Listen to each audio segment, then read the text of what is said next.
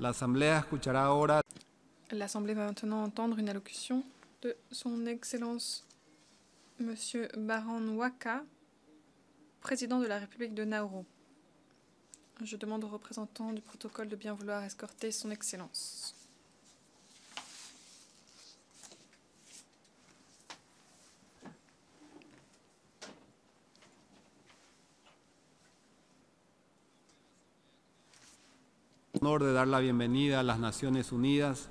Au nom de l'Assemblée générale, j'ai l'honneur de souhaiter la bienvenue aux Nations Unies à Monsieur Baron Waka, président de la République de Nauru. Je l'invite à prendre la parole devant l'Assemblée.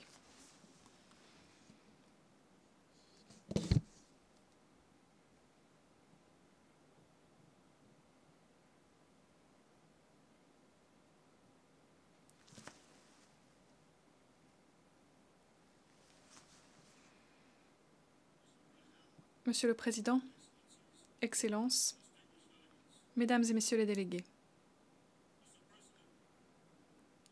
Monsieur le Président, c'est un honneur d'être ici pour fêter le 70e anniversaire de l'Organisation des Nations Unies. L'on ne peut que s'émerveiller devant l'ampleur de cet exploit. Non seulement cette institution qui comptait auparavant 51 membres, à l'origine en compte aujourd'hui 193. Elle a aussi étendu son action pour s'atteler à de très nombreux problèmes dont souffre le monde aujourd'hui. Le débat général est pour nous une occasion en or de réfléchir à ce qui a permis le succès de cette organisation. Je crois que les raisons de notre succès peuvent être résumées en un seul mot légitimité. Grâce à notre légitimité, nous pouvons convoquer ici chaque année au mois de septembre les dirigeants du monde entier. Grâce à cette légitimité, nous pouvons ici passer des accords qui sont ensuite appliqués sur le terrain. Cependant, la légitimité est bien fragile. Il faut des décennies pour la consolider. Mais elle peut être balayée en un clin d'œil. C'est pourquoi préserver et renforcer la légitimité de cette institution doit être au cœur de notre action ici aux Nations Unies, pour que l'ONU puisse rester une force pour le changement dans le monde entier. Pour renforcer la légitimité des Nations Unies, ainsi, je propose qu'à l'avenir, nous laissions guider par trois principes. L'universalité, l'adaptabilité et la responsabilisation. Nous avons fait un grand pas en avant dans cette direction la semaine dernière avec l'adoption du programme de développement pour 2030. Ce programme est la preuve de notre capacité à apprendre des expériences passées et adopter une démarche mieux appropriée vis-à-vis des besoins et des circonstances de tous les pays. Le programme trouve en son cœur le bien-être des êtres humains et énumère une liste complète d'objectifs et de cibles visant à autonomiser tous les individus pour qu'ils puissent pleinement s'épanouir. Nous ne nous concentrons plus sur des indicateurs pris isolément tels que le PIB ou le revenu par tête. Ces indicateurs ne servent pas de façon exclusive à mesurer les progrès humains. Nous concentrons notre action sur l'édification d'une stabilité plus durable, une prospérité plus durable. L'éducation, la santé publique, l'égalité entre hommes et femmes, une eau propre, des océans propres, une énergie propre pour tous, une unité familiale solide, c'est là le plus important. Voilà certaines des pièces maîtresses de l'avenir que nous voulons construire. Pour mon pays, l'océan est la source de presque toutes les perspectives de développement. Contrairement à certains grands pays, nous n'avons pas une économie reposant sur de très nombreux secteurs.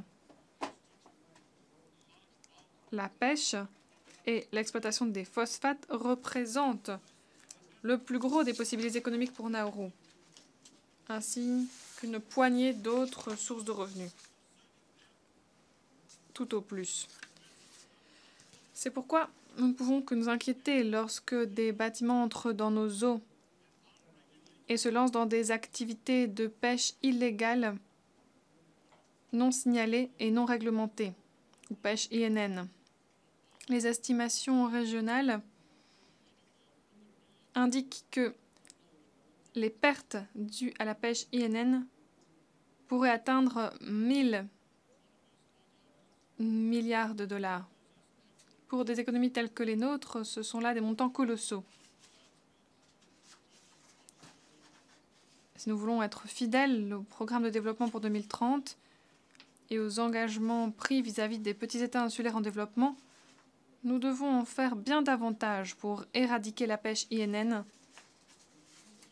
et pour veiller à ce que les recettes découlant des activités de pêche aillent aux propriétaires des ressources propriétaires légitimes. Cette question et d'autres questions inscrites sur le programme de développement pour l'après 2015 nous appellent à repenser nos formes de coopération au niveau international. Les organes régionaux et internationaux doivent être à la hauteur de la tâche.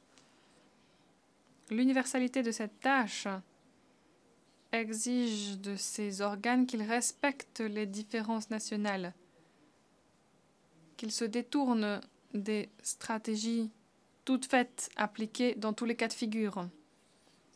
Plutôt que d'adopter des démarches compartimentées, nous devons plutôt créer des réseaux transversaux. Les agences de mise en œuvre à tous les niveaux doivent devenir plus souples, plus agiles, mais aussi plus robustes. Tous les partenariats, les partenariats multilatéraux, bilatéraux, les partenariats publics-privés, doivent être fondés sur le respect mutuel.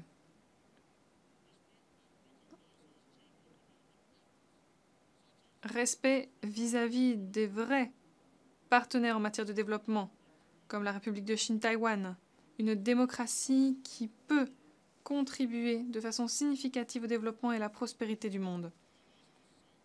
Cela va sans dire, le savoir-faire, les connaissances technologiques des Taïwanais peuvent apporter une grande différence pour aider les plus pauvres. C'est pourquoi je demande que Taïwan soit accueilli dans les agences de développement des Nations Unies. Monsieur le Président, l'aide doit être prévisible et durable. L'aide ne doit pas devenir une arme pour servir des buts politiques, des objectifs partisans. Les tactiques visant à dresser un groupe contre un autre n'ont plus leur place en ce nouveau siècle caractérisé par ce nouveau programme pour l'après 2015. L'histoire a montré que l'ouverture et le dialogue ont des conséquences bien plus positives que l'isolement et l'exclusion. Ce n'est qu'un environnement de cette nature qui peut nous permettre de tous rendre des comptes et d'être redevables les uns envers les autres. C'est le projet que Nauru a fait sien pour le programme de développement pour l'après 2015. Et nous, adoptons d'ores et déjà des mesures pour aller de l'avant chez nous. À l'instar de l'ONU elle-même, nous allons devoir ériger des institutions internes solides pour atteindre nos objectifs. Et leur légitimité sera tributaire de leur ouverture, de leur adaptabilité et de la reddition de comptes. C'est pourquoi, dans l'application du programme de développement pour l'après 2015, nous devons aller au-delà du renforcement des capacités. Nous devons nous embarquer dans la tâche difficile d'édification des institutions. Les agences internationales et régionales et les partenaires en matière de développement devraient étayer ces efforts à l'aide de ressources concrètes pour inclure un dialogue sur le long terme, basé sur les conditions sur le terrain lorsque c'est approprié. De cette façon, ces agences pourront laisser derrière elles des institutions internes durables, gérés par des personnalités nationales compétentes. Nous exigeons beaucoup de la part de nos partenaires et nous voulons nous-mêmes devenir de meilleurs partenaires. En définitive, la mise en œuvre du programme de développement pour 2030 se fera principalement à l'échelon national et local. À cet égard, qu'il me soit permis de remercier nos partenaires, l'Australie, Taïwan, la Russie, Cuba et d'autres, pour leur aide, afin de nous aider à réaliser nos priorités nationales en matière de développement durable. Les efforts que nous fournissons pour améliorer la légitimité des institutions internationales doivent s'étendre au-delà des institutions les plus directement impliquées dans le programme de développement pour 2030. Le Conseil de sécurité en particulier doit devenir un reflet plus fidèle des réalités géopolitiques du monde d'aujourd'hui. C'est pourquoi la liste des membres permanents comme non permanents devrait être étendue. Et nous sommes favorables à l'inclusion de l'Allemagne, de l'Inde, du Japon, du Brésil et d'autres en tant que membres permanents du Conseil. Ce n'est pas tout. Le Conseil de sécurité doit aussi continuer de s'adapter et de réagir aux thèmes les plus urgents d'aujourd'hui.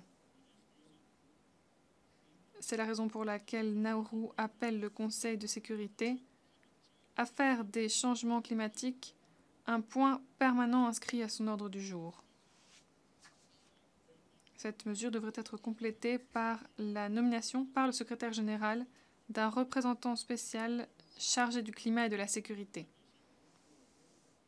En outre, les organes pertinents des Nations Unies devraient procéder à une évaluation de leur capacité à réagir aux implications sécuritaires des changements climatiques.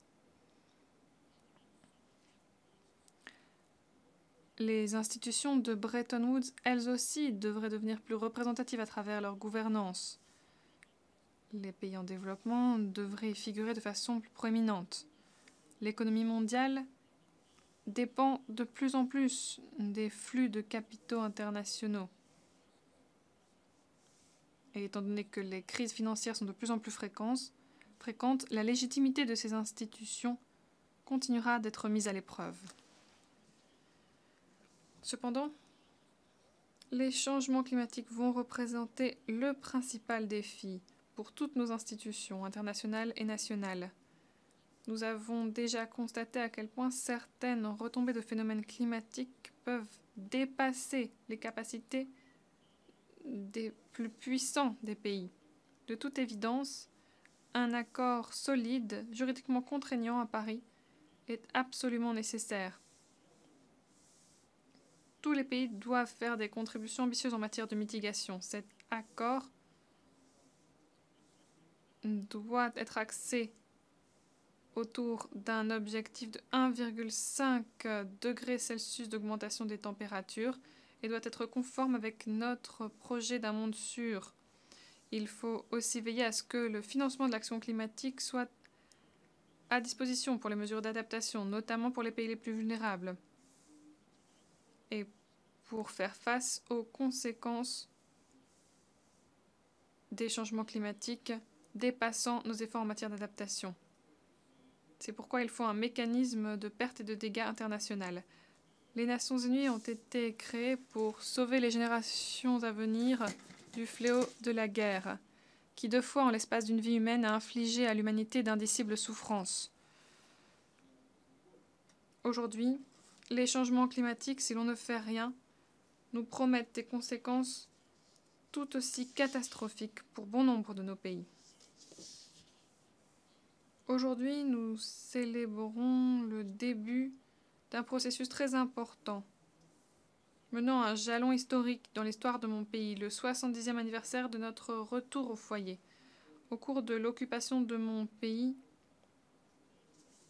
pendant la Deuxième Guerre mondiale, les habitants de Nauru ont dû être évacués et se rendre dans l'état de Tchouk, ce qui est maintenant l'état de Tchouk dans les États fédérés de Micronésie en raison de famine et des conditions de vie très difficiles imposées par les forces d'occupation, notre population a diminué, passant sous le seuil de 1500 personnes. Nous étions menacés d'extinction et nous savons donc très bien ce qui arrive aux petits pays vulnérables lorsque les grands pays ne se montrent pas responsables. Monsieur le Président, je suis fermement convaincu que bon nombre de grandes puissances économiques veulent un accord à Paris. Beaucoup de pays se sont déjà manifestés et ont avancé des contributions très importantes en matière d'atténuation des contributions qui vont demander des efforts importants. Nous savons que cela ne suffit pas, mais je ne doute pas de leur sincérité. Cependant, je commence à me demander s'ils sont à même, mais ils souhaitent réellement procéder aux changements qui s'imposent dans leur système économique et politique. Ces changements nécessaires pour atteindre les objectifs ambitieux qui sont mentionnés. Les pressions de toutes parts pour accepter une issue non satisfaisante ont déjà commencé. Par le passé, souvent, nous avons vu que cela signifiait que nous allions nous voir présenter un accord assorti d'un ultimatum. Mais un tel accord aurait-il une quelconque légitimité? Permettrait-il réellement de régler les problèmes climatiques? Monsieur le Président, 70 est un chiffre qui a une signification biblique dans la foi chrétienne, un chiffre composé euh, du chiffre 7 et du chiffre 10.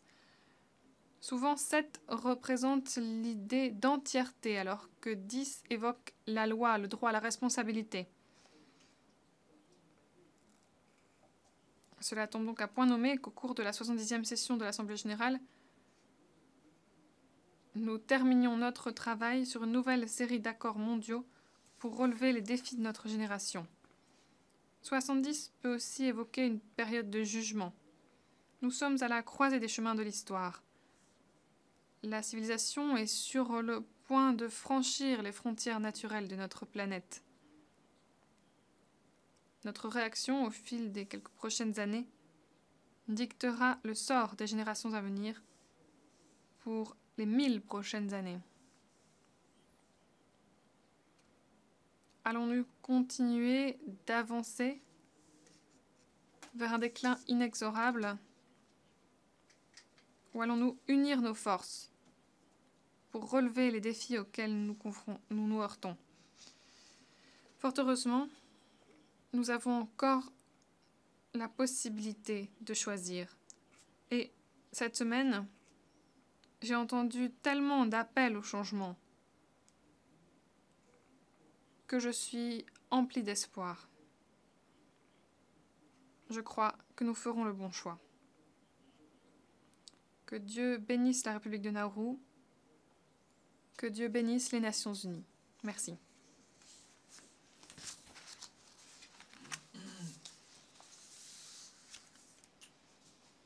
Au nom de l'Assemblée générale, je remercie le président de la République de Nauru pour son allocution.